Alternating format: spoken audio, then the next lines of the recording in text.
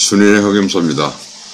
오늘 아침에 건초를 수입 건초를 사러 갔는데 컨테이너 하차한다고 내일 오라 해가지고 그냥 돌아왔는데 가격표를 찍어 왔습니다. 온 김에 가격표를 보면은 어, 김해 한우 영농조합인데 생균제, 로프, 알파파, 알파파 펠렛, 세- 이, EM균이 있고요.